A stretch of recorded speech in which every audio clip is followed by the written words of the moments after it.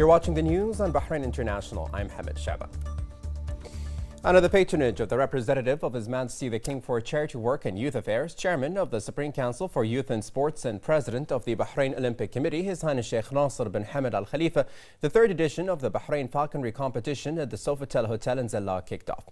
Present were the Vice President of the Supreme Council for Environment, Chairman of the Bahrain Royal Equestrian and Endurance Federation, Sheikh Faisal bin Rashid Al Khalifa, Minister of Sports and Youth Affairs, Hisham Al Jowder, royal family members, and Falcon owners. His Highness Sheikh Nasser praised the wide participation of GC GCC Falcon owners that reflects their keen interest to take part in such competitions, which contribute to the success of the event. He also affirmed that the competitiveness demonstrated by the participants indicate their expertise and skills that qualifies them to take part in this tournament. His Highness distributed awards to the winners and their companies and congratulated them for the success of the competition.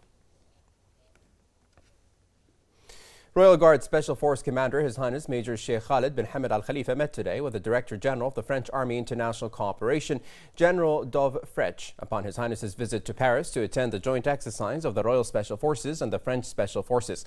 During the meeting, the two parties discussed a number of common interest topics. His Highness stressed the importance of such meetings and their role in developing relations between the two countries, aspiring to enhance a sustainable partnership between the Royal Guard Special Forces and the French Army, which will contribute to developing relations and unifying joint work.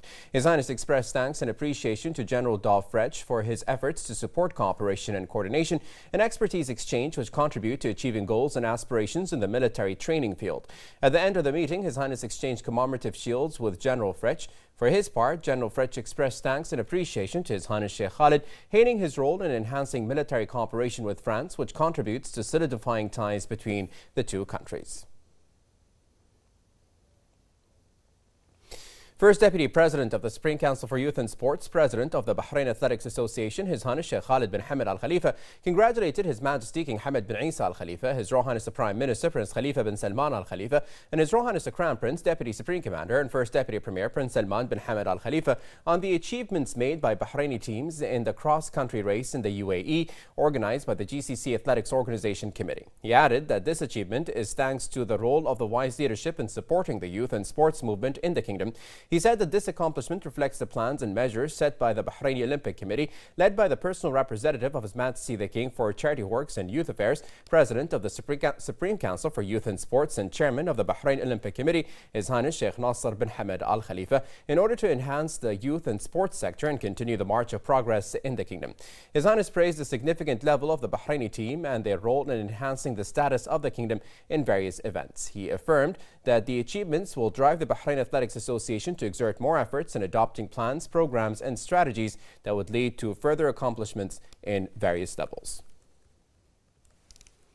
On the sidelines of the 53rd Munich Security Conference in Germany, the Minister of Foreign Affairs, Sheikh Khalid bin Ahmed bin Mohammed Al Khalifa, met with his Saudi counterpart, Adel Al Jubeir. The meeting came within the framework of continuous consultations and coordination between the two countries at all international forums. During the meeting, the foreign ministers exchanged views on the regional peace and security and ways to overcome the imminent threats that are facing the region to ensure unity and safety of its states, as well as the achievements of development and stability for their people and prevention of all forms of intervention in their affairs. They also discussed the key agenda on the Munich Security Conference. The Minister of Foreign Affairs also met with his Norwegian counterpart, Børge Brende. They discussed bilateral relations and ways to further boost them in all fields. Sheikh Khalid reiterated the importance of reciprocal visits between the officials of two countries to promote cooperation on the grounds of mutual respect and common interests.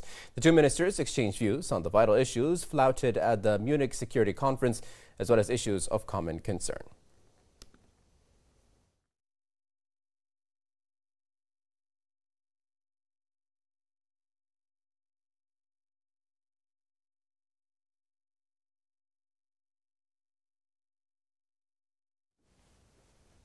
The Minister of Foreign Affairs also met his Armenian counterpart Edward Nalbandian.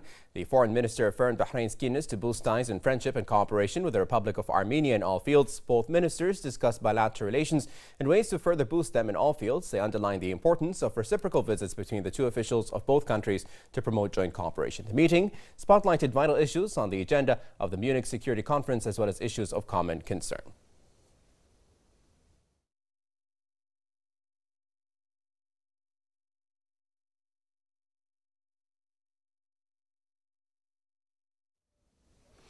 The Minister of Foreign Affairs met with the Commissioner General for the United Nations Relief and Works Agency for Palestine refugees in the Near East, the UNRWA, Pierre Krähenbühl. The foreign minister praised the UNRWA's efforts and its support to Palestinians and wished it success to carry on its projects to improve the conditions of Palestinian refugees. For his part, Krähenbühl expressed his appreciation of Bahrain's support of the UNRWA work and its support to the Palestinian people. He also expressed aspirations to enhance joint cooperation between Bahrain and UNRWA for the benefit of Palestinian refugees.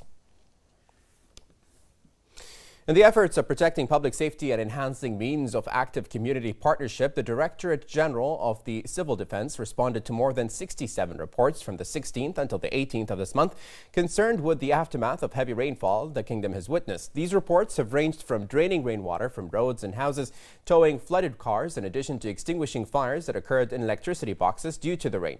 The Civil Defense used many advanced rescue tools to deal with numerous cases of fallen trees and electricity posts caused by the extreme that affected the country. The Civil Directorate issued previously a warning to the general public to take the necessary safety precautions, noting that the Operations Department receives calls around the clock. It presented a series of tips and awareness instructions that achieve greater public safety protection to the citizens and residents, which include the prohibition of dealing with wet electrical tools and appliances and staying away from low places and rain pools when driving, in addition to avoiding walking in areas of unknown water depth, as well as driving in places that do not have sufficient lighting.